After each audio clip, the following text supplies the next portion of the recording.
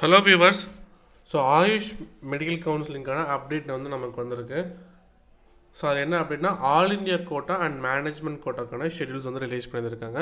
So all India கோட்டாவில் வந்து any ஸ்டேட்லேருந்துனாலும் அப்ளை பண்ணலாம்.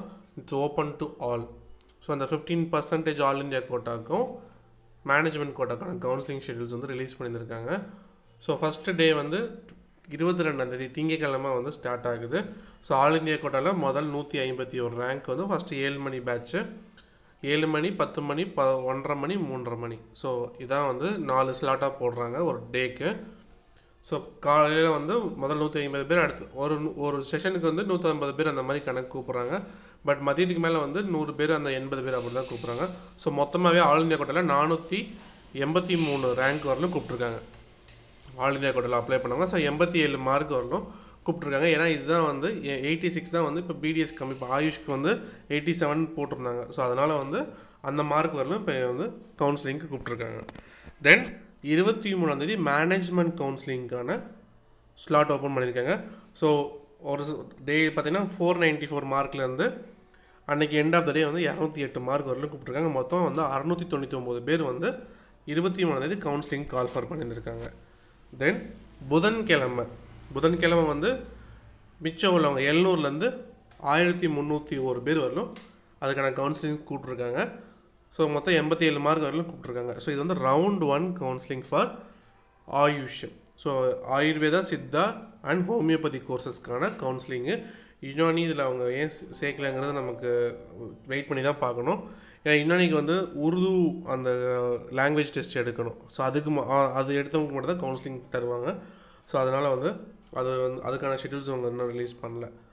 ஸோ மொத்தம் மூணே மூணு நாள் தான் all India quota and management கோட்டாக்கான counselling இருபத்தி ரெண்டு இருபத்தி மூணு இருபத்தி நாலு ஸோ என்னென்ன இன்ஸ்ட்ரக்ஷன்ஸ் கொடுத்துருக்காங்கன்னு பாருங்கள் ஸோ நீங்கள் கால் லெட்டர் டவுன்லோட் பண்ணிக்கணும்.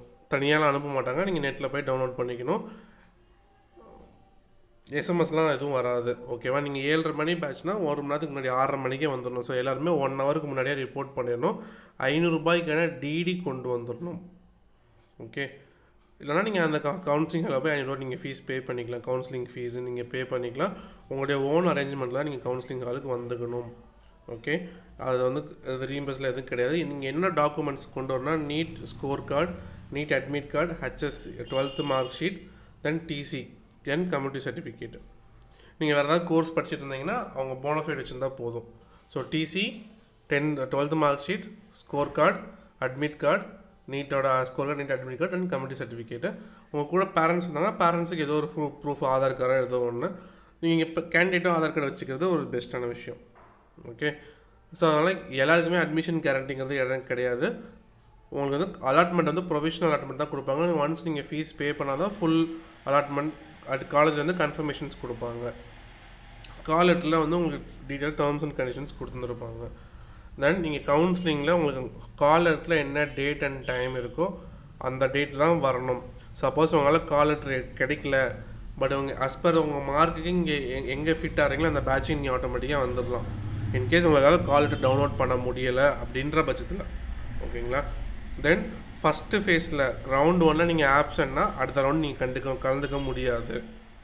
ஓகே அது மாதிரி நீங்கள் ரவுண்ட் ஒனில் ஆப்ட் அவுட் கொடுத்தீங்கன்னா திருப்பி அந்த காலேஜஸ்க்கு நீங்கள் எடுக்க முடியாது. வேறு காலேஜஸ் தான் நீங்கள் இதுக்கு முன்னாடி இல்லாத காலேஜஸ் தான் நீங்கள் எடுக்க முடியும். ஸோ அதனால் பி கேர்ஃபுல் ஓகேங்களா?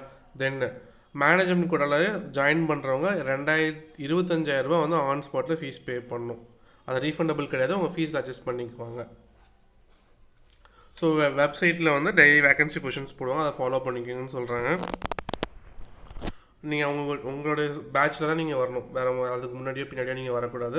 மொபைல் ஃபோன்ஸ் எதுவுமே அலோடு கிடையாது. வேகன்சி பொசிஷன்ஸ் வந்து டிஎன் ஹெல்த் வெப்சைட்டில் போட்டிருக்கேன்னு சொல்கிறாங்க நம்ம சேனலை நீங்கள் ஃபாலோ பண்ணிக்கலாம். ஸோ நீங்கள் எவ்வளோ ஃபீஸ் கொண்டு வரணும் அப்படின்னு பார்த்தீங்கன்னா வந்து ஆல் இந்தியா கோட்டாக்கு வந்து ஆயிரரூபா ப்ளஸ் ரெண்டாயிரத்தி ஐநூறு இருபத்தஞ்சாயிரரூபா நீங்கள் வந்து கொண்டு வரணும். ப்ராசஸிங் ஃபீ ப்ளஸ் இருபத்தஞ்சாயிரரூபா டியூஷன் ஃபீஸ் வந்து அலாட்மெண்ட் ஆர்டர் வாங்கும்போது நீங்கள் பே பண்ணணும் மேனேஜ்மெண்ட் கோட்டாக்கும் அதே தான் ஆயிரரூபா ப்ளஸ் இருபத்தஞ்சாயிரரூபா நீங்கள் பே பண்ணுற மாதிரி இருக்கும்.